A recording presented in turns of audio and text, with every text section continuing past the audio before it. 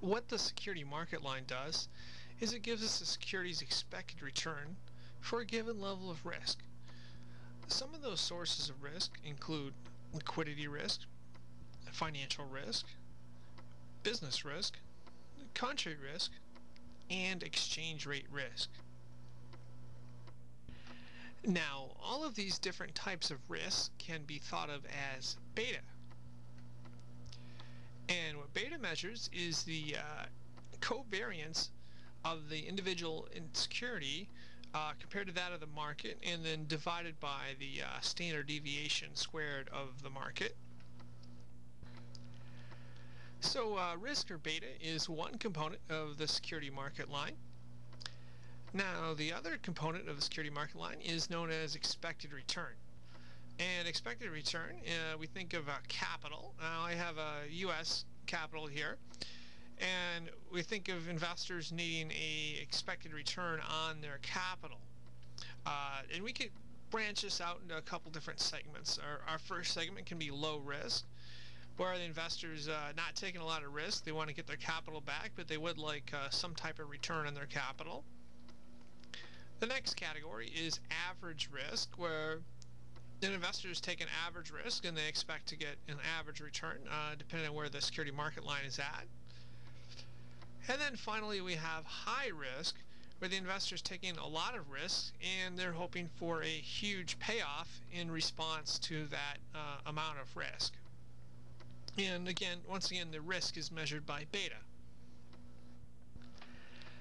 Now we can graph this uh, security market line here, and uh, we'll call it just SML for short. Now if you'll notice it intersects at the uh, risk-free rate, or RFR, that is considered uh, the risk-free rate of return. Now if we take a look closer look at the uh, SML in front of us, there's uh, three different ways it can be altered. Uh, the first way is simply how the security changes or the security risk changes. For example, we have XYZ stock. Well, over time, XYZ stock could become riskier or it could become less risky uh, depending on volatility, uh, business risk, or other factors we've talked about earlier. The uh, second factor that uh, mainly changes the slope of risk can be thought of as investors' perception or attitude uh, toward risk. And what I mean by that is uh, what it does is it changes the slope of the SML. Uh, take, for example, we have one extreme in 2005 where investors were bidding up uh, prices of securities and conversely that drove the expected return or expected yield down of those securities and so we had a, a slope that looked something like this.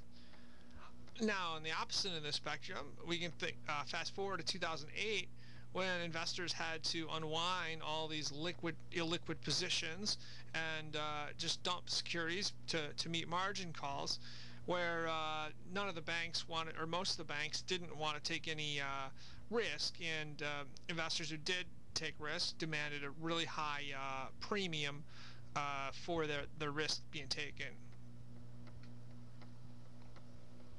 The third way the SML can change is an upward or uh, downward uh, parallel movement in the, the line of the SML. And what I mean by this is there's two different ways. There's inflation and there is the uh, risk-free rate of return. So let's say, for example, inflation goes down, the SML would go down in a parallel fashion. Now, if inflation goes up, the SML would go up in a parallel flash fashion. Now, for the risk-free rate, if uh, interest rates are cut, uh, the SML would go down in a parallel movement. And if interest rates are rising, the SML would increase because uh, investors would require a, a higher rate of return. Now let's move back to the intersect point here, or the RFR. That's the risk-free rate of return. That's the, the point where the SML uh, slope intersects.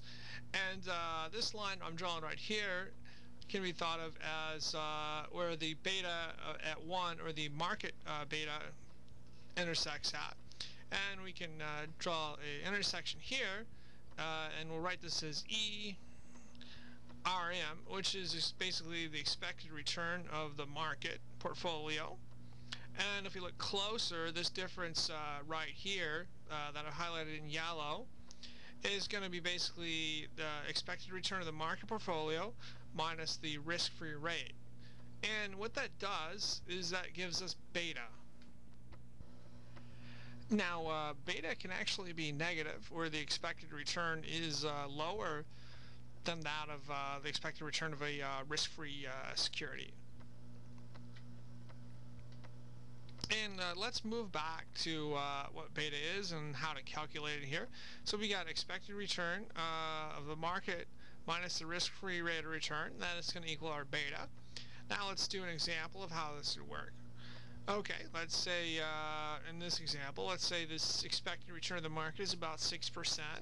Okay, that's our expected return.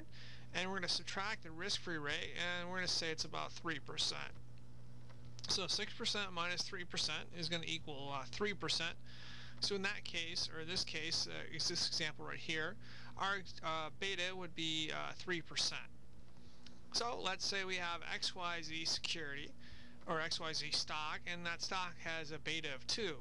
Well, we want to figure out what the expected rate of return for that uh, stock is. Okay, well, a beta of 2, so it's twice as risky as the market.